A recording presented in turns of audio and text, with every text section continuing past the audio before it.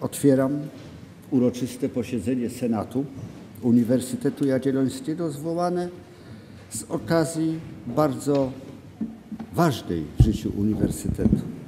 Z punktu widzenia naukowego śmiem twierdzić najważniejszej. Wręczenie tytułu doktora honorowego uniwersytetu. Dzisiaj panu profesorowi Laremu McLarenowi z Brookhaven National Laboratory w Stanach Zjednoczonych. Hugh MacLeod, znany, jak sądzę, bo nie znalazłem go w Wikipedii, ale gdzie indziej w internecie istnieje, w Stanach Zjednoczonych rysownik, bloger i satyryk powiedział: Dobre pomysły zaburzają równowagę i dlatego początkowo zawsze napotykają na opór.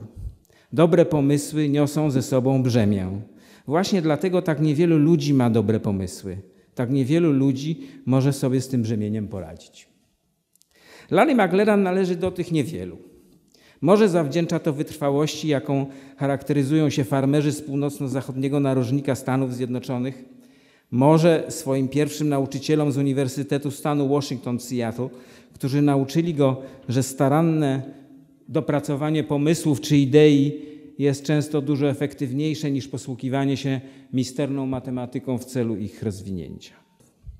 Koncepcja kondensatu kolorowego szkła to nie tylko ów dobry pomysł, ale jednak także bardzo wyrafinowane oprzyrządowanie matematyczne.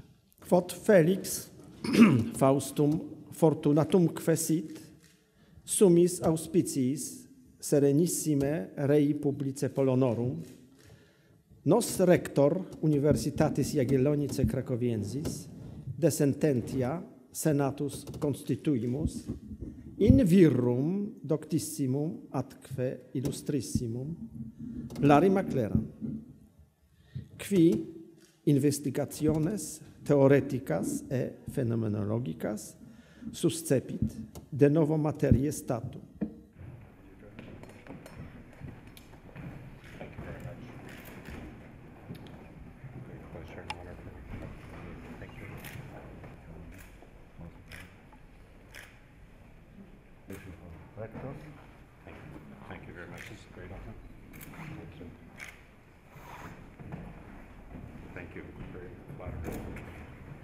は